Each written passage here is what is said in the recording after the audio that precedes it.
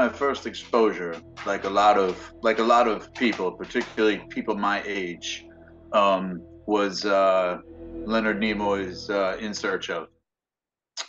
Uh, I think that was probably I don't know, maybe I was six or seven when that had come out, and already at that point, uh, spending a lot of time in the woods myself, uh, it really piqued my interest. I think in the early 70s in general, in the wake of the Patterson footage, um, I think there was kind of a general buzz about the topic uh, already.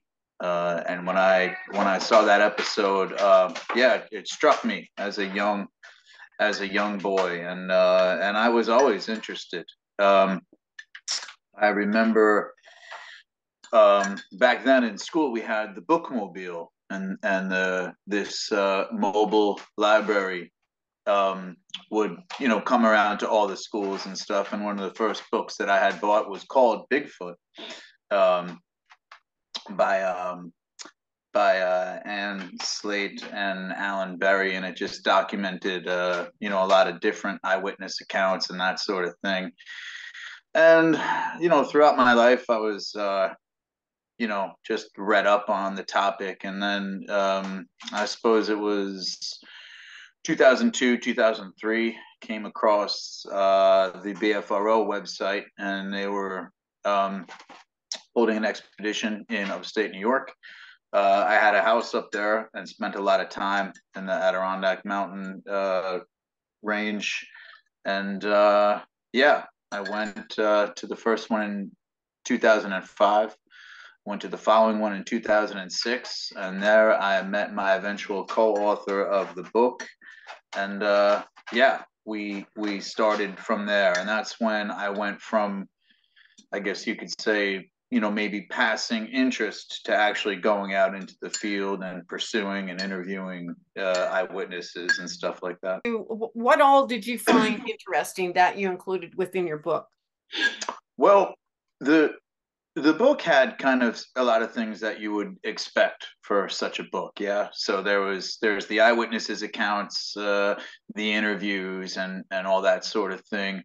We didn't get we didn't get too much into the uh, evidence uh, you know that exists to support um, you know to to support the idea of existence. Um, for us, the book was we got into that to some degree, but for the most part, uh, my my co-author he uh, uh, he investigates paranormal activity, so he was involved uh, in an organization called the uh, the Atlantic Paranormal Society. So we shared a lot of stories. Um, he uh, he came with me to a lot of the um, to a lot of the eyewitnesses that I that I interviewed, and we kind of compared that to what he did. So for us, the the bulk of our interest, at least as far as the book went, is when when I think about all the people that I've interviewed over the over the decades now, you can certainly discount you know x amount uh, number as uh, maybe misidentification. Somebody saw a bear uh, scratching itself on a tree up on um, you know posted up on a tree and they kind of it appeared to them to be a bipedal uh, animal walking on two feet. So there's that. And then there's you know some some hoaxers you know and there's always that sort of thing. Um, so that will account for a, a percentage for sure. Um, you know I, I, I think some people and i you know i i think in regard to people who reached out to me, some of them I think were maybe just lonely. Um, but that still left a lot of folks that I spoke to, and of course, never meeting them before. What I knew is I could, I said to myself, I'm not so sure they saw what they claim that they saw. But I knew one thing, and that's that they believed what they saw was uh, was real. And what we wrote about in in comparison to what my co-author does, as far as people seeing ghosts and apparitions, um, a lot of the book discussed how that impacts people psychologically. Is there uh, kind of a profile uh, of these people, which we were confident that there wasn't, but we were interested in a compare contrast as far as um, uh, you know who are the people who see these things and how do they compare to each other, uh, and what happens to them um, cognitively when when you witness something you know previously assumed to not exist? And how does it affect your um your perception in the rest of your life?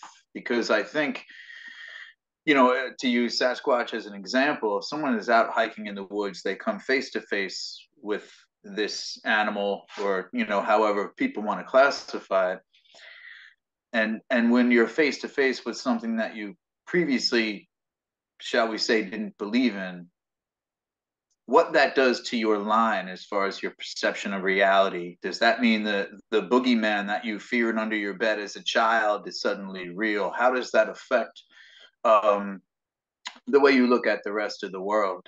And uh, I think for me, it's it's funny too. I just exchanged texts with him uh, a, a few days before I heard from you. The most fascinating eyewitness account in the book was a man. Uh, he was a young man when I when I met him back in 2005, I think. His name was Alan, and uh, well, his name is Alan, I should say. Uh, he lives in the southeastern section of the Adirondack Mountains in upstate New York. Um, and he shared with me a story then, and I, you know, took notes and interviewed him, and and was on his uh, property. The area in which he lives is well documented. Um, there's a book by a gentleman by the name of Paul Bartholomew called Monsters of the North Woods, and and Alan lives in this area where um, has a long history, uh, including a situation where a, a, police officer came forward, and of course there was a lot of uh, controversy that that went along with with that. Um, and and we spent some time on his property and and talking to him.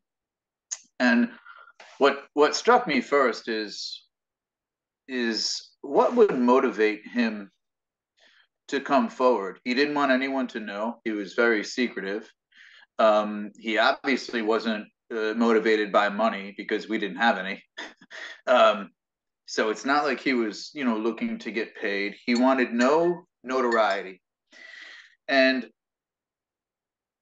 he was very matter of fact and this this varies from witness to witness as well some some people when they when they witness this sort of thing they it's very important to them that they kind of carry this message that that they want other people to know what happened to them that these animals, or, or again, however you describe them, um, are real. And it's it kind of becomes a vocation for them. You know, they want to kind of spread the spread the message. And then there are people like Alan who told me, um, he said, you know, I really don't care if people, if I were to go public, which he was not interested in doing, but he he was like, I really don't care um, if people were to believe me or not. I, I know they're there. I know what I saw. Um, and that's good enough for me. So fast forward um, 12 years later, and Mike and I started to assemble to gather the material for the book. And uh, I said, I wonder if we can, if I can find Alan. And, you know, thanks to the internet and uh, the the small world in which we live, I I did, and and he was now uh, you know thirty, you know thirty or so, and had uh, a child, uh, another one on the way, and what really blew me away was I interviewed him again, you know, 12, 13 years later, and I had my notes from our original interview, and and I took very detailed notes and, you know, almost a decade and a half later, when I interviewed him, his story was exactly the same. I mean, details, um, you know, how he explained it, what he was doing out there. And, and that that struck me you know, and and obviously it's it's not an argument as far as does Sasquatch exist or do they not, but he obviously uh, thinks you know that they that they do, and I find it very hard to believe that he would want to perpetuate a hoax to the point where he would memorize such a detailed story so he could maybe talk to me about it so many years later. I mean, the people that I interview as well, they, I don't know what they're experiencing, but certainly whatever it is that they're experiencing, they believe mm-hmm. their story and it is in such detail with such sincerity. Um, I certainly believe they're experiencing something. Mm-hmm. Yeah, agreed. I mean, again, I can't I can't speak for everyone I spoke to, but you can I hate to say you can just tell because that kind of begs the question how you can tell. Uh, but but I do think that there are some baseline um, details when you're speaking to somebody uh, as far as the credibility of their story, um, and and that's what it came down to for for uh, Michael Robarts is my uh, co-author and I.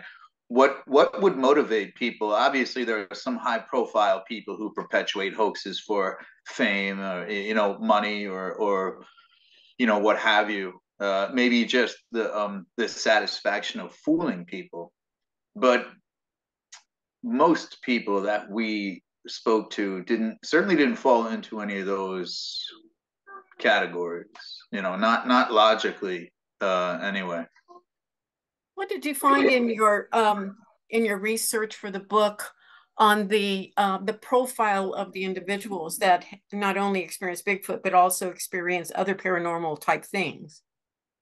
Mm, yeah. So as we suspected, um, but you have you have to do the work first to to say it with confidence. There really there really wasn't. Um, there really wasn't any uh, you know common thread but I do think uh, it was interesting in that I, I think people's the, the, walks of life that they came from kind of um, impacted whether it was a positive experience or a negative experience.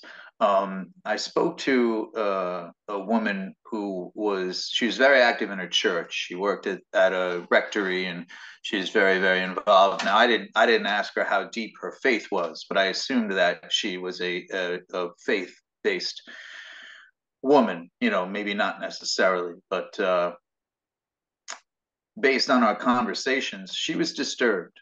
You know, I, I, I don't, I, I, got the impression that she found it very disturbing. And, and I think a reason why it's understandable, I think, when you come from that perspective is where does this, and I, I don't like to use the term thing, but to use the term animal maybe uh, suggests something that is not necessarily so based on who you talk to but but where does this whatever it is fit into you know things like creation and and uh, you know evolution and that sort of thing. And and I, that could be a touchy subject particularly with some faith-based uh, you know folks is you know where where does this fit in into the grand scheme? So there's a lot to reconcile there. Um, and uh, you know school teachers uh, quite a few police officers i've spoken to over the years and i think that's the simple fact that they're often out at night. They have uh, you know flashlights and find themselves uh, in in some precarious uh, places. Children um, and that's always interesting because of course uh, you know when uh, you know children maybe that definitive line between imagination and and and reality can be a little, little bit you know blurred shall we say but but also the flip side of that the the counter to that is that people uh, involved in field research uh, and it does make sense that um, children would be more approachable and less intimidating.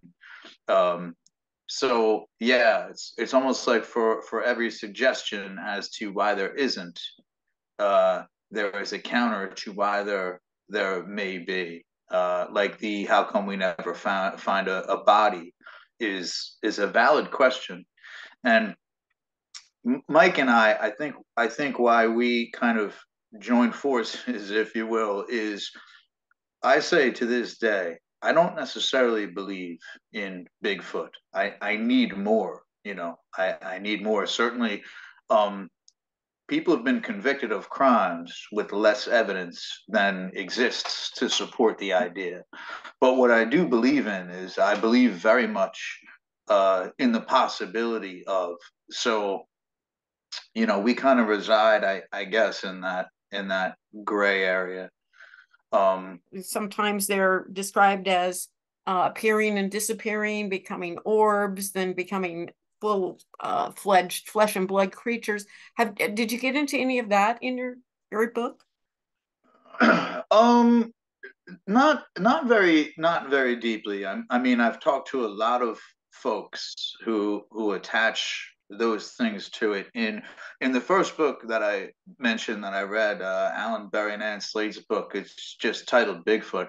There's a fascinating chapter called uh, "The Pennsylvania Effect," and it documents um, something that happened. Is way back in uh, 72 or 73 i think. So it's a while ago. I mean that book i think came out in 75 or 76 but uh, uniontown pennsylvania where these these people had uh, um, a uh, a very what they described as an extremely close encounter that first involved a UFO and then I guess you could say Bigfoot like creatures. Um, in the the the area that I mentioned before of upstate New York, um, that has a long history uh, of Sasquatch sightings, uh, UFOs as well. So you know there there there could be there could be a direct correlation between the two it could be just that for whatever the reason um, people who are open to seeing one interpret uh, interpreting one are also open to interpreting another. So it's interesting. Yeah that that could be contingent upon the area. It could be contingent upon the witnesses who live in the area and how they're interpreting. So again there there's there's a psychological uh, you know, uh, factor in, in there, perhaps.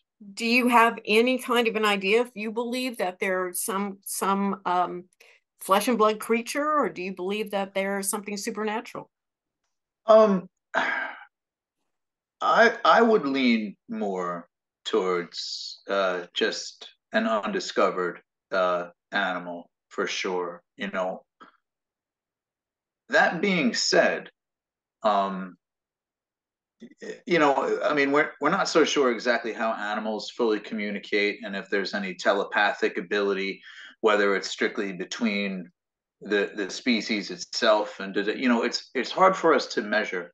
I've I've had this ongoing discussion with a friend of mine about how we measure intelligence, and um, perhaps it's a bit, um, uh, you know, of some mammalian. Uh, um, uh, I, I, don't know, uh, self-centeredness maybe or, or, or collective egos, but we, we put ourselves at the top.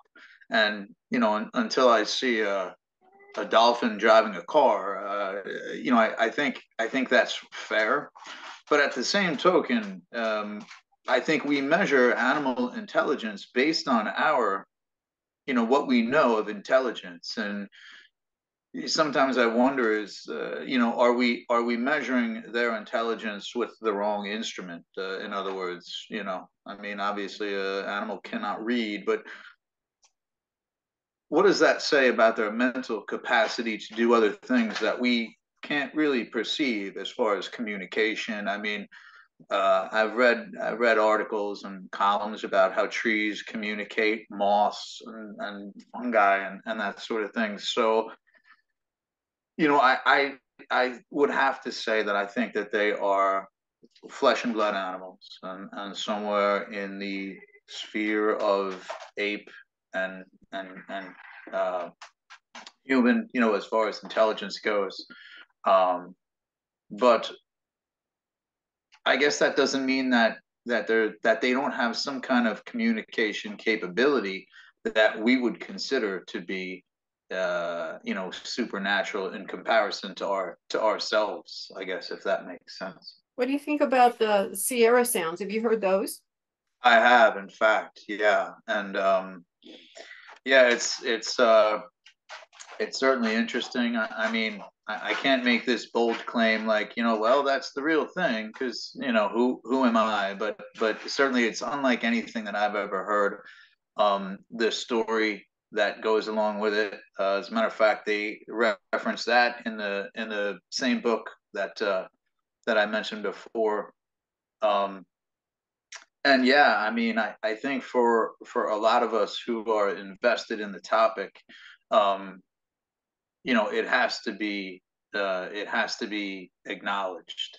Um, the audio has been uh, analyzed. You know, I mean, just to the upteenth degree, and uh, you know, I think it's easy for people to wave their hand and go, well, you know, that's not real, or it's this, or it's that. One of the one of the most interesting things I've gotten to do over the years is um, the industry I work in. Obviously, I don't advertise that I wrote this book, and something I've done just for my own uh, curiosity, I guess, if you will, is, for example, a, a good friend of mine for a company I work for uh, he's a bit younger than me too. He's probably maybe ten or so years younger. Um, we were talking one day, and and sometimes I'll kind of steer the the topic uh, in that direction because I'm just curious what everyday people think about it, their reaction, especially those people who maybe eh, eh, you know maybe they're they they don't spend a lot of time in the field they're not big outdoorsy people or or that sort of thing. And we got on the topic and you know his immediate reaction was you know yeah that's all fake and and of course i just kind of play neutral you know yeah you think so did you ever see the patterson you know the famous footage and so i pull up the the footage you know on um, on a computer and and we're watching I, I can't remember if he said that he had seen it previously or not. But it's very interesting to me because two or three seconds in, he goes, "Oh, come on, that's fake." So I said, "Okay, you know, yeah, I, I, you're probably right, but what, what tells you that it's fake? You know, do you see a zipper? Do you see sneakers on the bottom of the feet of the put? You know, what, what, what indicates to you so confidently that it's fake?" And what I find interesting is I've I've done that to a few people, some people in my family and, and friends. And I have yet to have anyone come up and give a specific reason as to why they think it's fake. And Michael and I discussed this in the book. I, I can't help but wonder if a lot of it has to do with the fact that it's not that people don't necessarily think it's real, it's that they don't want to think it's real. Because again, to suggest that something like that exists is maybe to force oneself to open the door to other things that we really would prefer not to think about. I'm sorry, my my landlady's cat is being really um, very very demanding.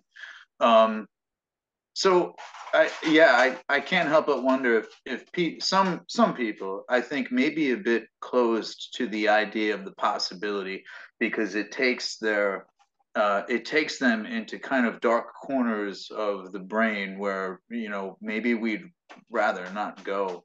You have to be pretty open minded to go down the Bigfoot trail. yeah, yeah, and and open open to some criticism depending upon how uh, far you want to go a lot of shows mm-hmm. out there right now on Bigfoot, lots of books out there on Bigfoot, lots of new conferences coming up.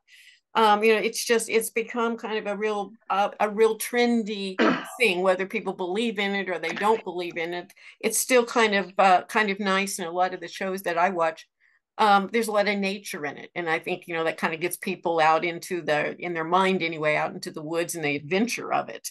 Um, how much of it do you think is the mystery of not knowing if it exists or not?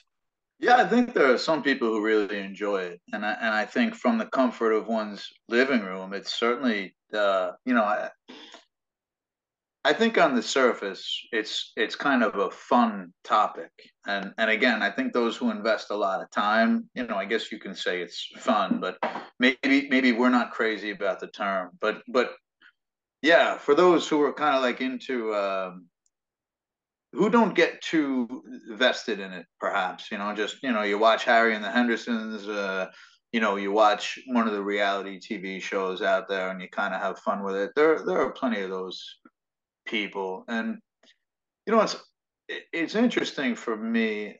I I got to a point where,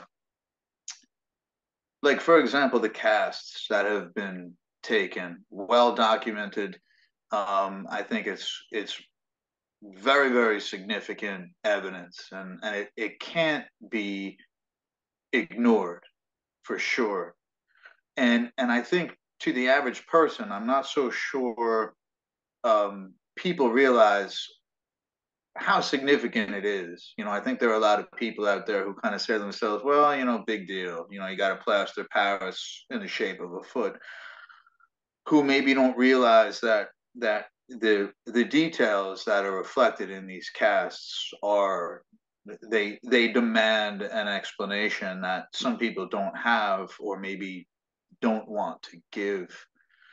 So for for me i think all of those things are still relevant.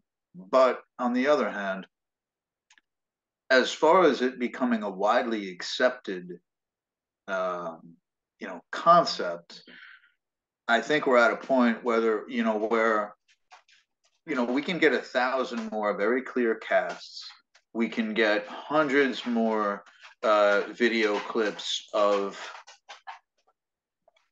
shall we say, video that's less than conclusive. It's not that uh, those things are insignificant, but I don't think it's really going. I don't know that it's going to change public uh, perception, and and personally, I'm not so sure that we that we should because there's also I, I I feel there's a moral discussion to it as well. Is that do we want to you know, do we want the masses to know what is what is that going to look like? I mean, I I remember the spotted owl arguments in the mid '90s, and you had a group of people who were who were very very protective of these owls, and understandably so, pitted against a group of people who made their livelihood, um, you know, harvesting timber in these forests, and you know, I remember it well. I watched with great interest as somebody who's who's just generally interested in you know the natural world and you know it it got ugly you know quite quite frankly and and when i think of if um we we just got undisputable you know, you know, uh, uh, you know, evidence that just could not be the smoking gun, so to so to speak. You know, a body was found or a live specimen was found. I mean, I think I think a lot of us spend so much time looking forward to to that. The question is, well, what then? What does that do with housing laws, zoning laws, hunting. You know, I mean, you know, somebody out there is going to say, well, hey, you know, new new big game hunting, and and you know, I I can't I can't imagine the discussions that that would um, you know result in, and. uh you know it's it's funny uh, for for for Mike and I we would like to have those kind of experiences to satisfy our own curiosity, which is really the only reason that I uh, was interested in. I, am not interested really in making this um, necessarily like a contribution to to science or, uh, but I, I don't know. Uh, you know, maybe it's maybe it could be a bit selfish. You know, after the after the fact. Um, because uh, you know I would imagine at the very least the the wilderness areas where they were found and known to be would be flooded with not just scientists, not just researchers, but I mean, I, I live just a few blocks from the beach in uh, in New Jersey, and I, I can't tell you how many how many dolphins, for example, have been have been beached, and you know, people pass them around, taking taking selfies, you know, instead of just returning them to the water. So, you know, I, I think there's a moral argument there that I don't. We talked about it in the book. I I haven't heard a lot of discussion about it. Otherwise, is you know, maybe it's in our best interest to find out uh, about this animal who who you know is a cousin or you know whatever the case to us but what does it mean for for them you know. Possibly a closer relative than anticipated. I can understand that too opens up a whole new means of of having to define um the human race possibly. Mm-hmm. yeah. Yeah exactly. Well what else can you tell me? What else do you think um that uh, your research for the book and your uh, exploration of this topic has um, has given you? Um, perspective on the on the on the people, and you know, some some considered uh, their experiences to be almost religious. Uh, some were horrified, and it kept them up for for many a night. So the interpretation of it, I think, uh, was really really fascinating for for sure. And that's how um, I asked Alan, um, you know, are you are you grateful? You know, are you glad it happened, or do you wish that you never saw it? And uh, and he was grateful. And what was particularly interesting about his story was he uh, he had kept it from some of the, some family members who later on came forward to him with their stories. And only then did he share with those family members his story. Um, and that happened. Uh, I, Mike and I were probably midway through the book, and he had called me up and he was very excited, or he texted me and was very excited and said, um, you know, give me a call, which is not something that he ordinarily did. Busy man, young family.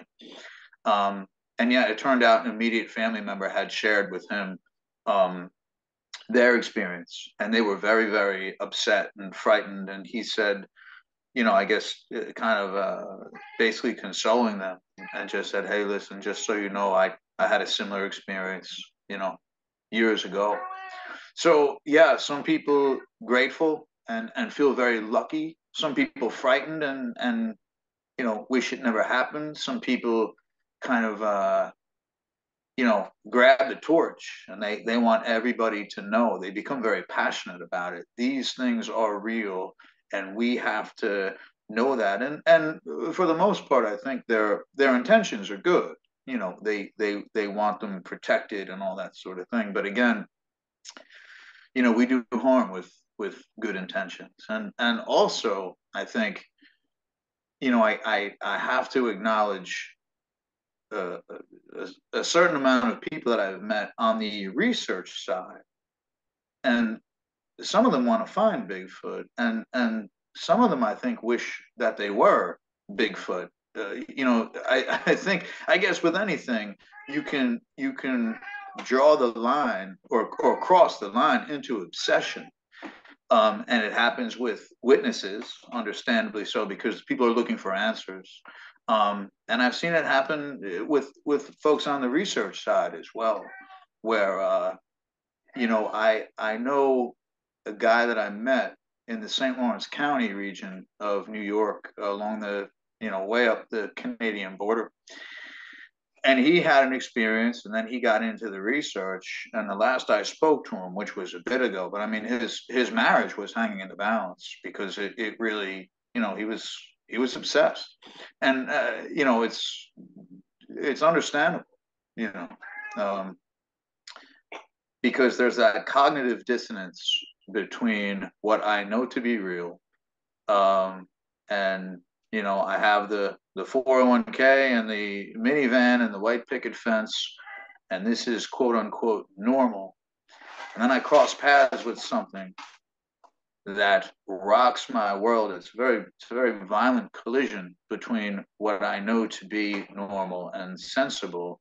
and all of a sudden, your entire identification system is just completely thrown off. You're forced to make room for this new reality that you simply cannot deny because it's right in front of you.